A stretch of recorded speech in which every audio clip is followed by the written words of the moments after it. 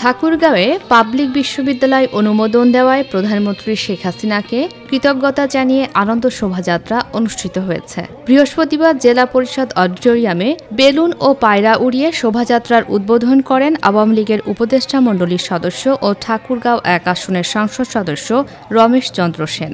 স্বাধীনতা শিক্ষক পরিষদ ঠাকুরগাঁও জেলা শাখার উদ্যোগে বৃহস্পতিবার দুপুরে এই শোভাযাত্রাটি জেলা পরিষদ বিটি হল প্রাঙ্গণ থেকে বের হয়ে শহরের প্রধান প্রধান সড়ক প্রদক্ষিণ করে একই স্থানে গিয়ে শেষ হয়। আলোচনা সভায় বক্তারা প্রধানমন্ত্রী শেখ হাসিনাকে ধন্যবাদ ও কৃতজ্ঞতা জানিয়ে সারা দেশের ন্যায় ঠাকুরগাঁওয়ে উন্নয়নের ধারা অব্যাহত রাখতে সকলকে এক হয়ে কাজ করার আহ্বান জানান।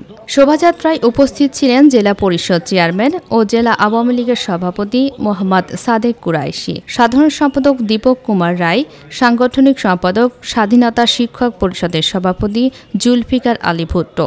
জেলা আওয়ামী লীগের ত্রাণ ও সাংস্কৃতিক বিষয়ক সম্পাদক নজরুল ইসলাম স্বপন, স্বাধীনতা শিক্ষক পরিষদের সাধারণ সম্পাদক জাহিদুল ইসলাম স্বপন, বিভিন্ন শিক্ষা প্রতিষ্ঠানের শিক্ষক, শিক্ষিকা, ছাত্রছাত্রী সহ অন্যান্যরা।